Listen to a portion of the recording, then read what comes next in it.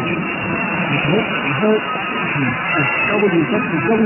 and you hope you can find us on Facebook, Twitter, and other social media platforms. Our programs are also available on TuneIn and via satellite UCAT and about 512 megahertz, the vertical polarization, as well as 16 degrees east.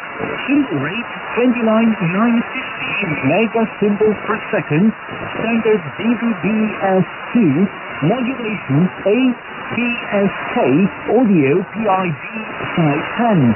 We wish you good reception conditions.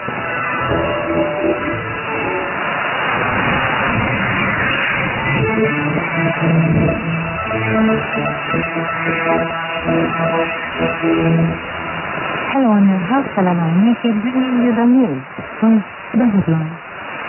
The state of alert was expected by 30 days in Romania on Saturday, pending restrictions on places. Every country, irrespective of size and geography, has a fundamental right to decide on its path and the alliances it wants to join. NATO Deputy Secretary General, the Romanian Mr. Geoană, said. Romanian tennis players Simona Halep qualified on Friday for the final of the Melbourne Summer Set One tournament ahead of the Australian Open.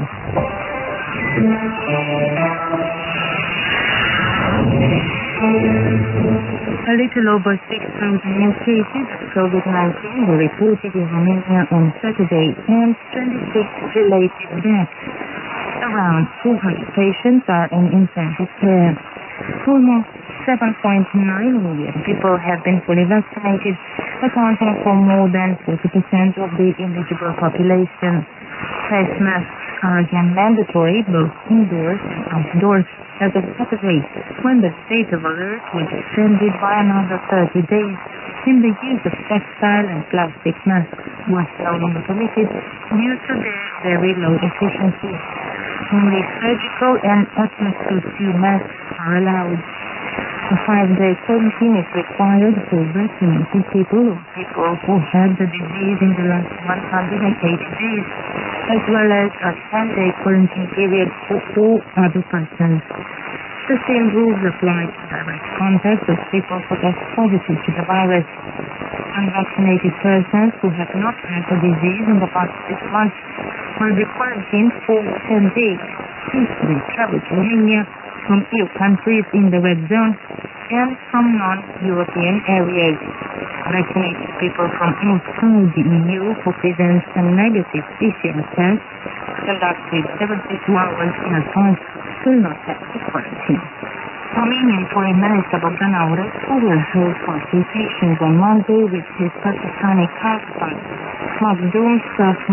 Hussein Qureshi will official visit the local state Romania on January 9 and 10, the Romanian Foreign Ministry announced. The visit is held in the context of a positive dynamic in bilateral ties and of the vital support that Pakistan granted to Romania in August and September 2021 and its efforts to evacuate from Afghanistan Romanian citizens citizens of allied countries and 156 Afghan citizens risk. A cooperation effort will be signed between Romania's Chamber of Commerce and Industry and Pakistan's Association of Chambers of Commerce and Industry, as well as a framework cooperation agreement for an exchange of scholarships between the Polytechnic University of Bucharest and the University in Islamabad. Every country, irrespective of size or geography, has the fundamental right to decide on its path and the alliances it wants to join. Later, the Secretary General, the Romanian Mr. Joannis, at Friday evening, after an extraordinary virtual meeting of the North Atlantic Council. The meeting, held at the level of ministers of foreign affairs, focused on the Russia's military build-up in and around Ukraine and on broader European security issues. Ministers stressed that any further aggression against Ukraine would have significant consequences and called on Russia to give up its aggressive rhetoric against its neighbors, withdraw its troops from Ukraine, and seize the path of dialogue and peace. The meeting of NATO foreign ministers comes ahead of a series of diplomatic engagements next week with Russia, including the meeting of the NATO-Russia Council on January 12. Authorities in Kazakhstan have detained Karim Masimov, the former head of the National Security Committee, on suspicion of treason, the Security Committee said on Saturday, Reuters reports. Masimov, who was fired this week as protests raged across the Central Asian country, was detained along with several other officials. The largest country in Central Asia has been shaken by protests that broke out on Sunday in the west of the territory because of the increase in the price of liquefied gas and spread to the economic capital Almaty, where the demonstrations turned into a riot against the power. Some protesters stormed official buildings. The head of state, Kassym Jomart Tokayev, on Friday authorized security forces to fire at protesters supported by Russia ruled out any negotiation with them. A military contingent from Russia and other Moscow allied countries were dispatched on Thursday in Kazakhstan to support the government and security forces. Authorities have announced that more than 4,000 people have been arrested. Tens of protesters have been killed, a BBC reports. Romanian tennis player Simona Halep qualified on Friday for the final of the Melbourne Summer Set One tournament. She defeated the Chinese Qinwen Zheng in two sets. Halep will play the final against the Russian November and that's what it means. Coming up next, the week in review. Hello,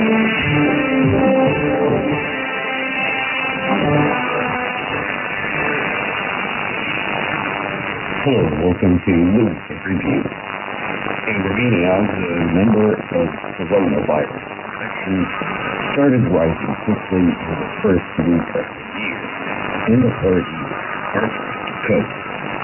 The rising cases is attributed to the Omicron variant, which is highly transmissible and is sweeping over most of Europe and other regions of the world.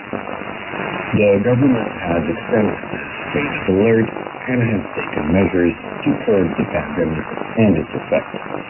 This involves the obligation to wear masks both indoors and outdoors. The masks now have to be medical or FFP2 types, which offer increased protection as opposed to textile masks, which are inefficient against Omicron. It also involves a return to the system of restrictions depending on the cumulative rate of infections over 14 days. Activities in indoor spaces will be limited to 50% of capacity in counties and localities where the rate of infection is up to 1 per thousand and 30% of capacity for higher rates. It was decided to set up special centers for triage of COVID-19 patients in order to avoid overcrowding hospitals. Vaccination is still stagnating in spite of repeated appeals by physicians. Romania is next last in the European Union in this respect, with neighboring Bulgaria in last. It has been 15 years since Romania has become an official member of the European Union.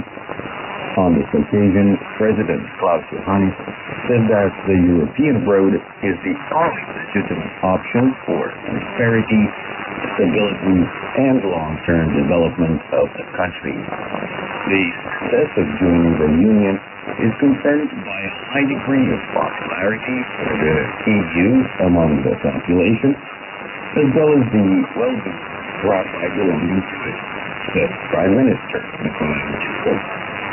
He recalled that European funds worth tens of billions of euros have reached the country and continue to do so, contributing to investments which raise the quality of life for the citizenry. Romania has managed to increase its per capita GDP as well as the parity of purchasing power from 39% on the average in the EU before joining to 59% after nine years. According to forecasts, per capita GDP this year could reach over 66%. Freedom of circulation, including that of goods, has offered a huge market for Romanian companies and products, and right now almost 80% of Romanian exports go to the European Union. Starting on January the 1st, Romania has raised its minimum wage, pensions, and social assistance, as well as child allocations. It has also brought up excises for almost all categories of products, including gasoline, diesel fuel, beer, wine, and spirits, with the exception of cigarettes. For the almost 3.7 million consumers who have not yet signed a free market contract, electricity prices go up by 50 to 90 percent, depending on the provider. But they will not yet pay higher bills, as they have been separately and will be compensated from the state budget until March the 31st, 2022. The Bucharest Court of Appeal has postponed by two months the definitive sentence in the case of one of the great tragedies in Romania's peacetime history. This is the case in the Colectiv operation in 2015, which left 65 dead and 200 injured. The premier at the time resigned, as well as the mayor of Sector 4 of the capital, where the club was located. Protesters were held back then under the slogan, corruption killed. Uh, criminal prosecution was started and arrests were made. Prosecutors aimed for maximum sentences with mandatory custody for sector mayors Franco Pastoris, for example, Florida. For the owners of the Colectiv clubs, for firefighters, fire technicians, and the company employees in charge of the fireworks that caused the tragedy. The debate the case ended late last year, but the judge found for a full verdict, which is eagerly expected by the public. Students in middle school and high school and in vocational training in Romania were back to school on Monday after the winter vacation, in spite of the worsening epidemic situation. According to the calendar issued by the Ministry of Education, preschool and primary school kids are on vacation until January 9th. The first semester ends on January the 14th, and the second starts on the 7th. Unit vacation spring break will be between April 15th and May the 1st. At the same time, criteria were changed for grants of merit scholarships, with a threshold raised from an average grade of 8.5 to 9.5. It is estimated that over 700,000 students will earn this financial incentive. This week, Romania filed a motion with the EU Court of Justice against the road transportation law called the Mobility Package, which comes into force next month. According to its provisions, EU transportation companies will be obligated to return their trucks to their centers of operation every two months. Romania is protesting. We've been to the Weekend Review. Focus on Romania. Let's stop in this broadcast with Song of the Day, listens to Stefan Bănică and Dimitriu Tădărescu with the song To Do in a Dream.